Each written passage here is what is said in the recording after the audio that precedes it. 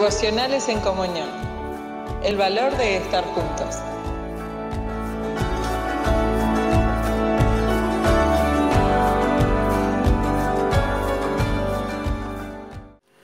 Hola, ¿cómo estás?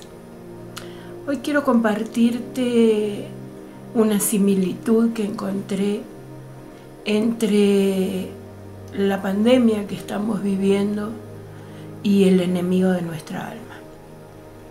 Sabemos que esta pandemia es debida a un virus que se instaló en las sociedades, en los continentes, eh, sin respetar ningún tipo de fronteras, ni etnias, ni edades, y se ha instaurado y ha causado grandes desastres. La similitud que encuentro eh, es con el enemigo de nuestra alma. Nuestro enemigo también él intenta eh, instaurarse en nuestra vida y, hacer un desastre.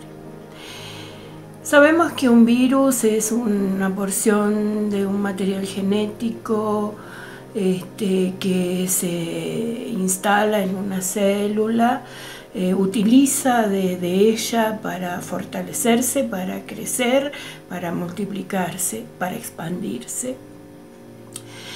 Y, mm, se recubre con, el alimento que, de esa célula extrae, eh, formando una membrana, eh, y haciéndose resistente. Sabemos que el virus no, se puede combatir con ningún tipo de antibiótico como puede ser una bacteria, pero eh, el virus no, que, que, los virus se combaten o se previenen con vacunas, eh, se combaten con antivirales y demás.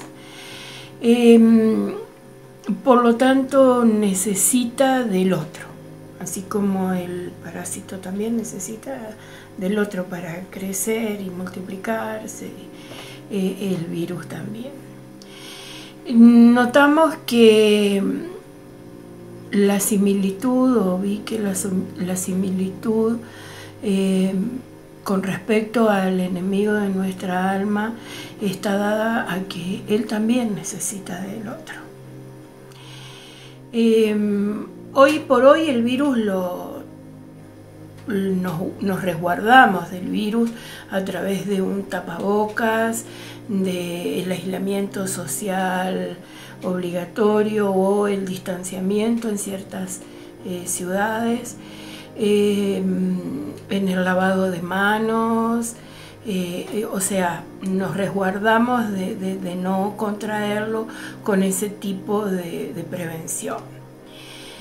Y con respecto al enemigo de nuestra alma, también nos podemos resguardar a través de Jesucristo, a través de la palabra de Dios. Ella viene a sacarnos de la ignorancia, ella viene a, despertarnos, ella viene a traernos estrategias para eh, evitar que el enemigo de nuestra alma tome el control en nuestra vida.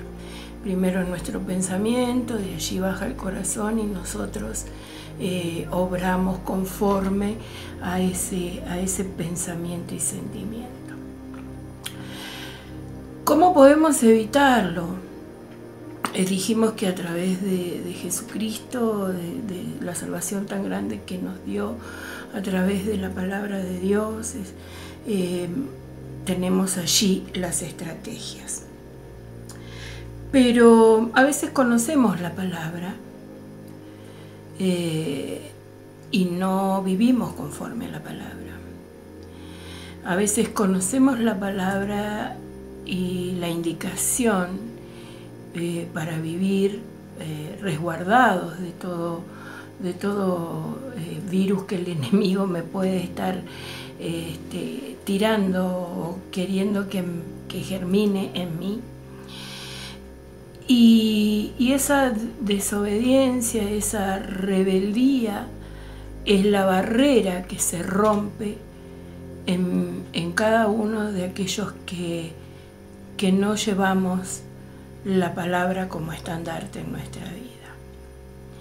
Entonces, esta similitud que, de la cual hoy te estoy hablando es eso. Yo contra el, el virus del COVID en este momento tengo un montón de precauciones que tomar para que no invada mi ser. Lo mismo pasa en lo espiritual. Tengo un montón de precauciones que tomar para que el enemigo de mi alma no tome control y dominio sobre mí. Nos vemos en, el próximo encuentro. Mi nombre es Miriam.